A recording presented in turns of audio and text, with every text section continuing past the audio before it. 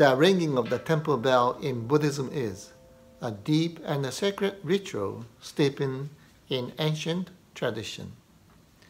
The temple bells being rung by Hongwanji temples throughout the state of Hawaii represents the deep gratitude and appreciation of the members and the friends of the Honpa Hongwanji Mission of Hawaii from all across our state to all the healthcare workers, first responders, police officers, firefighters, and to all businesses who are tirelessly working, often at the expense of their own safety and well-being, so that we may continue to safely live during this coronavirus pandemic.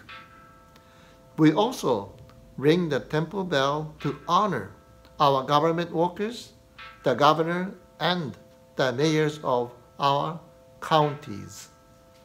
We present to all the gift of ringing the temple bell as a symbol of our gratitude.